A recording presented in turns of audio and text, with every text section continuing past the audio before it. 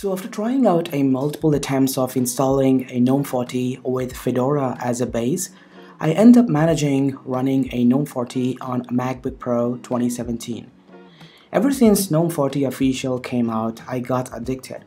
The way it has gone through a complete redesign that provides a mind-blowing user experience for Linux desktop. Now every single element has been crafted with a wellness care. GNOME 40 is primarily focused on laptops. It has gone through a lot of changes like horizontal workspaces, brand new gestures for laptops, and more.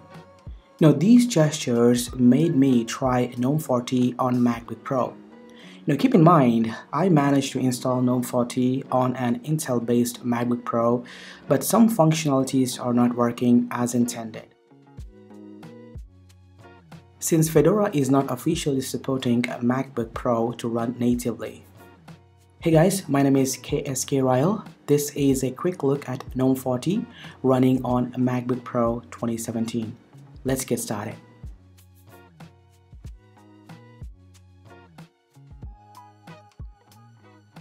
GNOME 40 brings a biggest changes to the Linux desktop users that has packed with brand new features.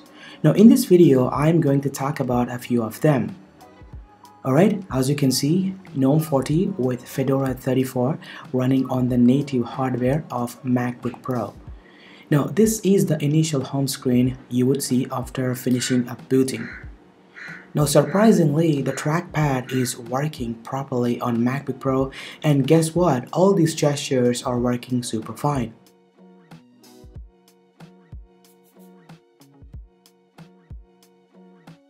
Now check this out, using a three fingers, swiping up from the home screen reveals the overview of workspaces. And if you keep swiping up one more time it takes you to the app launcher where you get to see all of the installed applications. And these gestures are super smooth. It works fine without any issues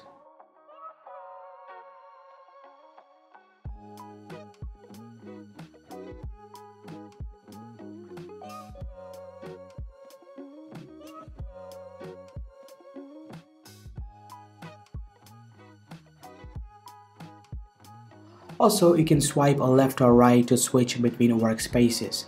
Now as you can see, these gestures are super refined and work flawlessly on MacBook Pro. Now these gestures are meant to speed up the overall user experience on laptops.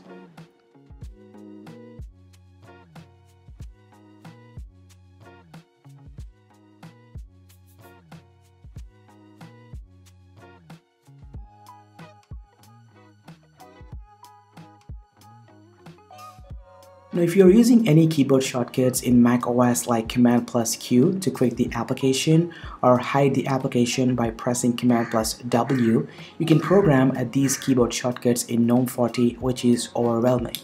Now inside settings there is an option called a keyboard shortcuts where you can uh, code the keyboard shortcut that performs a specific action. For example, I configure to quit the window by pressing Command plus Q.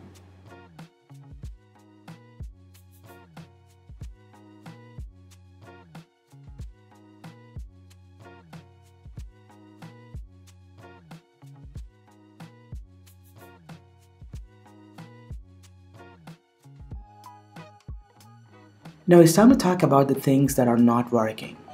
Now I have noticed the sound output has malfunctioned. There is a workaround on GitHub. I tried installing sound drivers, but after installing these drivers, my Wi-Fi stops working.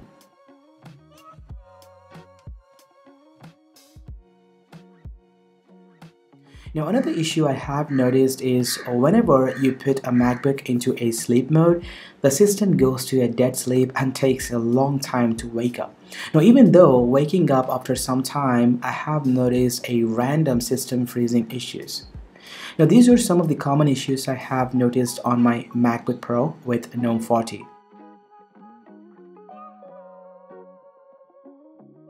Also, I forgot to mention, battery life is not that great. It may suck up a lot of juice unfortunately.